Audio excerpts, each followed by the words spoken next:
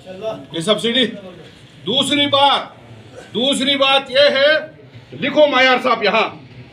दूसरी बात यह है कि स्वस्थ ड्राईपोर्ट से स्वस्थ कस्टम से आने वाले महसूल तमाम के तमाम गिलगित बल्दिस्तान का वहाँ पर खर्च किए जाएँगे।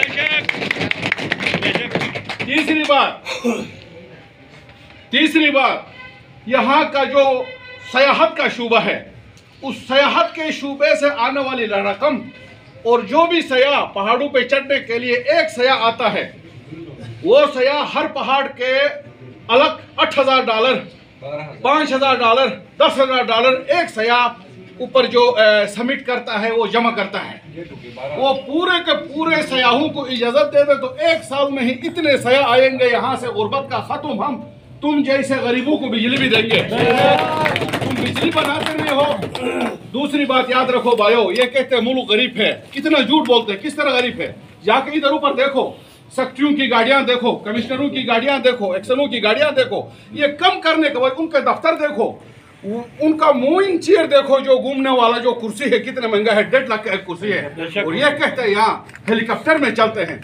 तमाम सरकारी गाड़ियों में गाड़ी नहीं होनी चाहिए कोई भी जाकर काम करता है तनख्वाह लेता है अपने पैदल जाके काम करे के खिलाफ हमें ऐलान जंग करने की ज़रूरत है। खर्ची खत्म करें? ये छोटी छोटी बातें हम इस तरह नहीं करेंगे अभी। बेशक। अभी हम क्लियर करेंगे।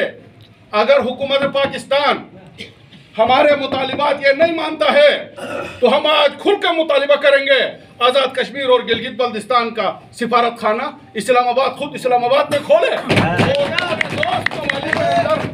हमारा यहाँ पाकिस्तान के खिलाफ कोई जनाब वाला वो नहीं है। उसके मफादात उसके साथ चीन के साथ राहदारी में कोई हम रिकावट नहीं करेंगे ये ऐलान करते हैं।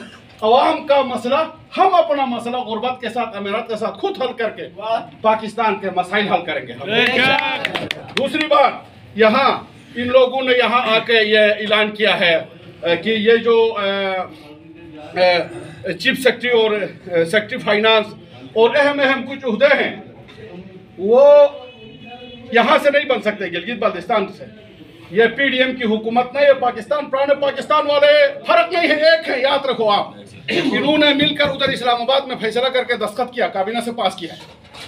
अभी भी यहाँ सारे पीटीआई भी है। हाजी गुलबर साहब मुहतरम हमारे भाई पीटीआई के हैं। हमारे इंजीनियर इस्माइल साहब हमारे भाई पीपल पार्टी के हैं। हमारे ईमान शाह साहब हमारे भाई मुस्लिम लीग नून के हैं। इस तरह ये सब मिलकर ये फैसला किया। ये पीडीएम की हुकूमत है, इधर पीडीएम पीटीआई साहब की हुकूमत ने फैसला किया ना। अब जो इस्लामाबाद से आने वाले अफसरों के बारे में बात करूँगा। इस्लामाबाद से जो अफसर यहाँ आते हैं अगर पाकिस्तान के दीगर सूबों में इस्लामाबाद के अंदर ब्यूरोक्रेसी ने वहाँ दूध की नहरें बना बहाकर इंसाफ करके सारा का सारा काम ठीक किया था तो हम उनका हाथ भी चूमते हैं। लेकिन उधर सारा का सारा आवा बिगाड़ कर इधर कहते हम एले हम तुम्हें करेंगे। ये कौन सी बात है?